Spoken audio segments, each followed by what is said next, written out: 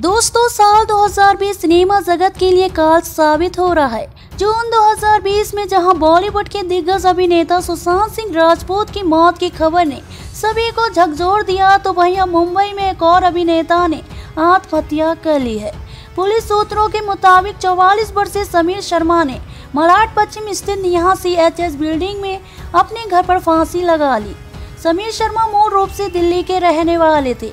पढ़ाई पूरी करने के बाद वे बेंगलुरु चले गए और उन्होंने वहाँ पहले एड एजेंसी में काम किया था। इसके बाद वे एक्टिंग की दुनिया में किस्मत आजमाने मुंबई आ गए। समीर बीते 15 साल से टीवी इंडस्ट्री में काम कर रहे थे। उन्होंने साल 2005 में दिल क्या चाहता है सीरियल से डेब्यू किया था। साल 2014 में वे फ़िल्म हसी तो फसी में भी नज़र आए थे।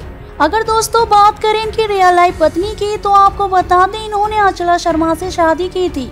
लेकिन बताया जा रहा है कि वे कुछ समय से अपनी पत्नी से अलग रह रहे थे।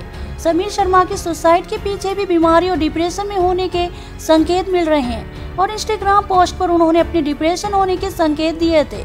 समीर बीते एक हफ़्ते से सोशल मीडिया से दूर हो गए थे। इंस्टाग्राम पर उनकी 27 जुलाई की पोस्ट में उन्होंने एक कविता शेयर की थी, जिसकी लाइन थी, मैंने अपनी चिता बनाई और उस पर सो गया। आपको बता दें, समीर ने दिल क्या चाहता है सीरियल के अलावा भी सास भी कभी बहुत ही कहानी घर घर की ये रिश्ते हैं, प्यार के ज्योति गीत हुई सबसे पर आई।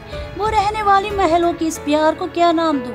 जैसे शोज़ किए हैं। अभिनेता समीर शर्मा को आखिरी बार सीरियल ये रिश्ते हैं प्यार के में देखा गया था, जिसमें इन्होंने बहू के पिता का रोल निभाया था।